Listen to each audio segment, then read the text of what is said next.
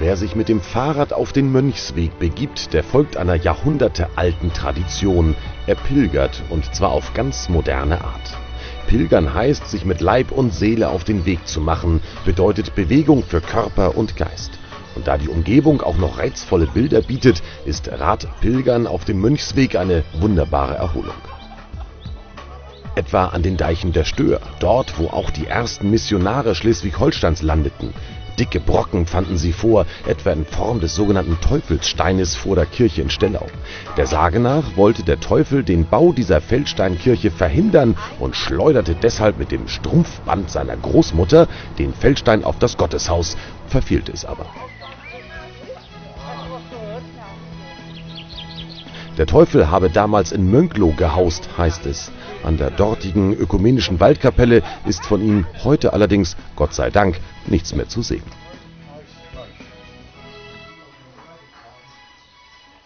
Der Mönchsweg verbindet Glückstadt an der Elbe mit der Ostseeinsel Fehmarn.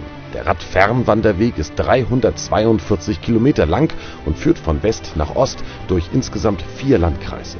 Der Landkreis Segeberg zum Beispiel wartet neben Klöstern und Kirchen auch mit weltlichen Vergnügungen auf, etwa dem Wildpark Ekold. Auf fast 70 Hektar Naturfläche bekommt der Pilger über 100 heimische Wildtierarten zu sehen und somit Gottes Schöpfung zum Greifen nah. Abgeschieden vom weltlichen Treiben warten die Mönche vom Benediktinerkloster Nützschau auf ihre Gäste. Gegründet wurde das Kloster erst 1951. Das Haus St. Ansgar, benannt nach dem Apostel des Nordens, steht Menschen aller Konfessionen offen. Hier finden die Radpilger nicht nur echte Mönche, sondern auch Ruhe und Harmonie sowie seelsorgerischen Beistand.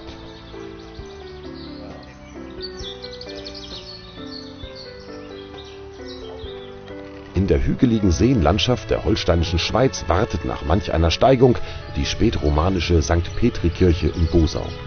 Deutlicher als hier lässt sich Missionarsgeschichte kaum erfahren. Von Bosau aus begann Bischof Witzelin 1151 mit der Missionierung Ostholsteins.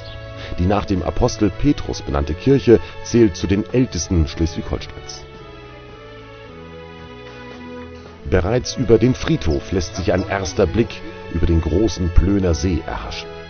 Eine wahre Oase, dessen Wasserreichtum schon einst die heidnischen Slawen zu schätzen wussten.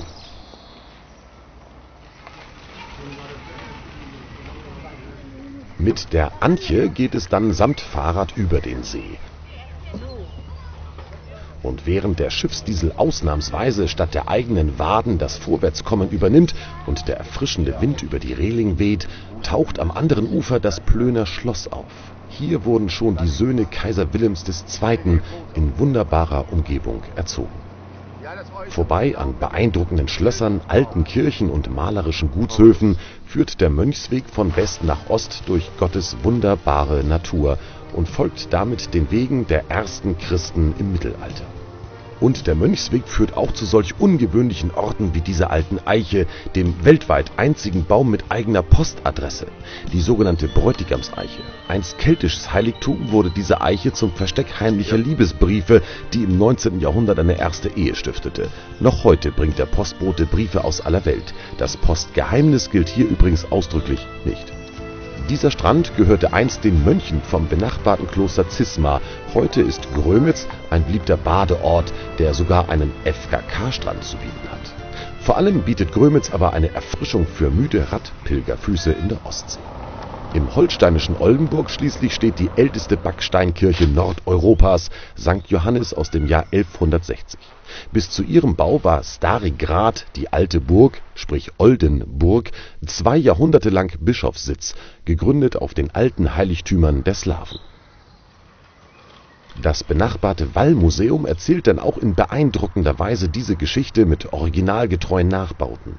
Hier erschließen sich dem Radfahrer die Welt der Slawen und ihre Kämpfe gegen die ersten Christen Schleswig-Holsteins, die Mission Vizelins, des Bischofs von Holstein sowie die Zeugnisse der ersten Christen Norddeutschlands.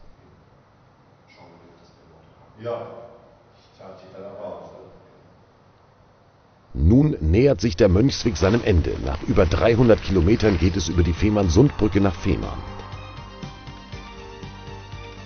Eigentlich müsste der Weg gen Norden weitergehen. Hier in Puttgarden unternahm St. Ansgar im Jahr 826 seine erste Missionarsreise nach Skandinavien. Der Mönchsweg. Pilgern auf den Pfaden historischer Botschaften ursprünglicher Religiosität. Ruhe und Einkehr, Spiritualität, Bewegung und Erholung. 342 Kilometer Pilgern auf dem Rad. Für Gott und sich selbst.